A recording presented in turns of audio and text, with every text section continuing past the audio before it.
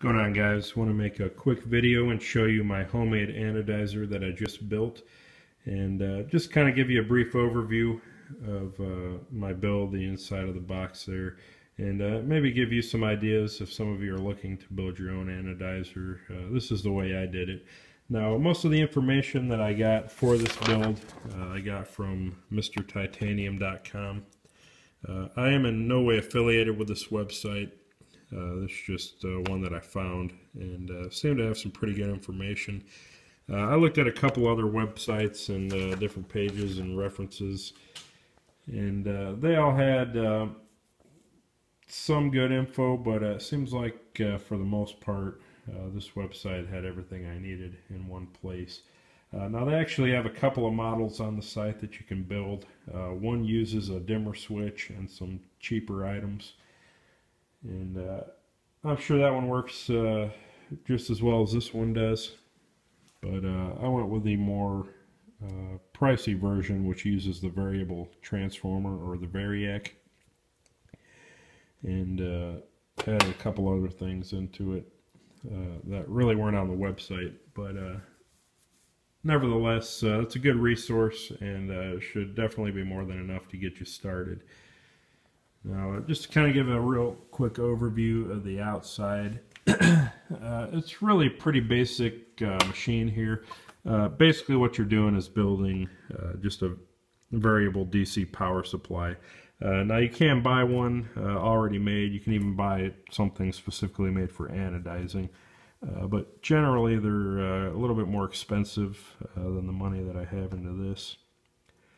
And with the DC power supplies or the lab supplies, uh, either they're really expensive or the cheaper versions have a more limited range.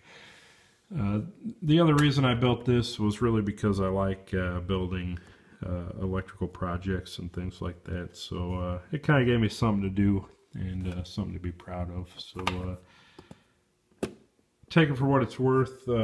if you got the money, you can buy one already made. Uh, you can buy just a power supply or you can build your own. So uh, again, just going over the real quick basics here. Uh, this is a DC voltage meter. Uh, I got this on Amazon for about $15. Uh, it only reads the DC voltage, uh, which is really all you need. you got a power switch, power neon, uh, and this actually is a pretty good power indicator too, but uh, this is just in case this ever craps out on me. Uh, I know that I got voltage going through the switch here. Uh, here's some banana plugs, uh, which I'll talk about in a minute. Uh, again, this is the Variac. most newer ones have a different setup on the front here. usually some screw posts or some banana plugs or terminals. Uh, this is an older one, uh, back when these were made to plug things into, and it's got just a regular Edison plug on the front there with the power switch. So I just used a plug rather than modifying that. Uh, on the back we got a GFCI ground fault circuit interrupter uh, for some additional safety. Uh, your power cord and uh, then this is the incoming uh, variable AC voltage that'll go to my bridge rectifier. And then on the top here is just a momentary on switch for bleeding the capacitor. So real quickly we'll open it up. And uh, this probably looks a lot more complicated than it is. Uh, just with all the wires and the bird's nest in here. Uh, probably could have made it a little bit neater, but being that it's covered up, uh, I was kind of in a hurry. So uh, what we got here, again, this is just the front panel. Uh, here's a capacitor, and that's really just to clean up the signal, uh, the DC voltage a little bit. And uh, what I can also do, uh, since I have the capacitor in here, this will actually be able to double as a carbidizer, hopefully as well.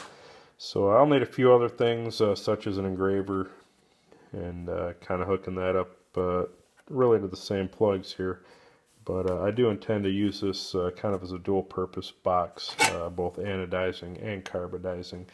So I got a thousand millifarad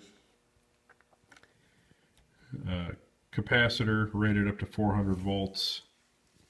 You can see it's pretty big. You could probably get away with a smaller one, uh, even in the microfarads, but uh, this is what the website recommended, so that's what I went with. Uh, right here, I just got a regular DC power supply. This came from a Sony Discman uh, that I no longer have. It supplies four and a half volts to this voltage meter, uh, which needs an external supply.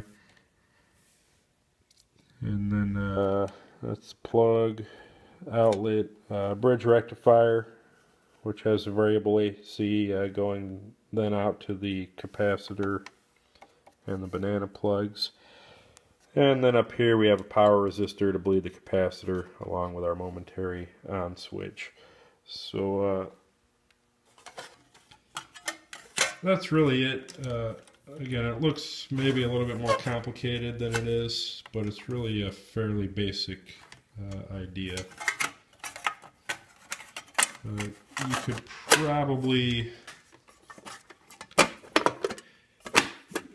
get away without using the meter if you got just a regular multimeter. And uh, probably don't necessarily need this power switch because I've got this one. But uh, I did want something to uh, shut the voltage off uh, altogether, so uh, that's why I put that on there. And then the cap bleed, uh, you really do need. this you probably don't need. again, that's kind of a safety feature. so really this could be simplified a little bit more. Uh, but most of it was uh, convenience and uh, safety. So uh, now back to these banana plugs. Uh, something some of you might notice right away uh, that I really didn't until afterwards was a copious amount of exposed metal here. And I'm not sure why these are designed this way. this is actually a really stupid design if you've got any voltage at all running through this because if you touch these uh, you're going to get zapped. And uh, I could potentially have up to 200 volts DC or more running through this. And uh, I guess that's what I get for buying cheap Chinese parts. Uh, they're really poorly designed. And then uh, to make matters worse, uh, here's a male plug, again with almost as much metal hanging off of it. So just imagine for a moment if I'm turning this on and going to unplug this. I reach there, grab there. Uh, I'm going to get knocked on my butt. So these are getting changed out uh, immediately. Probably going to go to Radio Shack tomorrow and get something like this, which has no exposed metal. And uh, works a lot better. Uh, the money I saved on these, they're maybe 25 50 cents a piece definitely not worth it so please keep that in mind when you build your own uh, now real quickly just to turn this on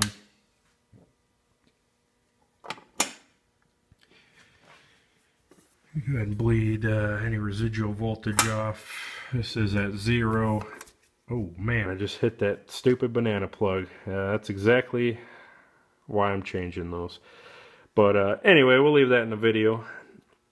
Uh, felt like a lot more than 1.3 volts, let me tell you. But uh, supposedly that's what we're getting here. Uh, I guess we can go ahead and verify that real quick.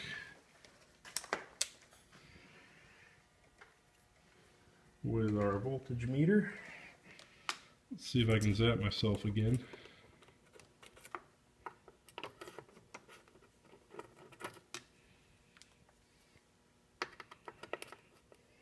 It's Kind of hard to do one-handed.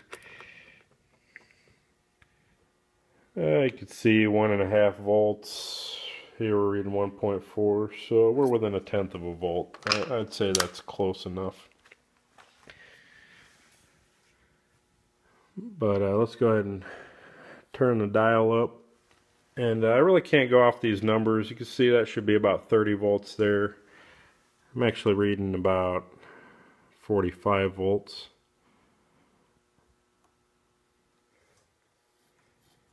And I cranked this up all the way to really past 200, uh, which is the limit of this uh, meter. Go ahead and bleed it back down a little. So there's 185, uh, which here should be about 124. So uh, you could see the DC voltage uh, is a little more than uh, what that Variac is telling me. So take that for what it's worth. But uh, let's go ahead and uh, turn it back down to zero. We can actually shut the Variac off. And uh, you can see that capacitor is still holding quite a bit of voltage. So if I were to touch that again, uh, I'd get a nice little wake up. But uh, if we hold our bleed switch down, you can see it takes a little while. I could probably get a better resistor to do this. But uh, really it's just a few seconds. So let's see, it should stop around one volt or so, give or take. Or actually, now that I have the Variac off, it should go uh, just about all the way down.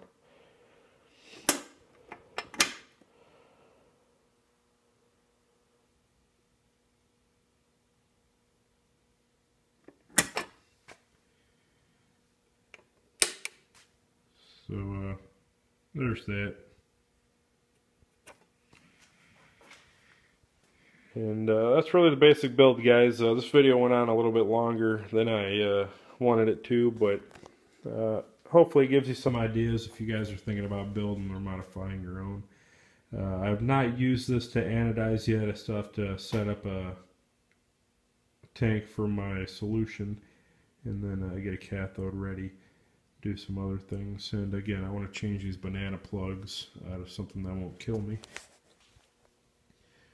But uh, for the most part, this thing's ready to go. Uh, eventually, I will get an engraver uh, with a carbide tip and uh, modify that for use with a carbidizer. And uh, really shouldn't have to do anything to this box uh, other than swap the banana plugs out to my engraver. And it should translate pretty well into that. Now, I haven't done my first anodizing yet, so I will probably make a video afterwards, show you the results, uh, make sure that it works. But uh, this was probably the hard part, so let's uh, go ahead and call this a video, and uh, I think I'm going to call it a night. Uh, any comments, feedback, uh, questions, go ahead and leave them below. Uh, I do appreciate the views and uh, stay tuned.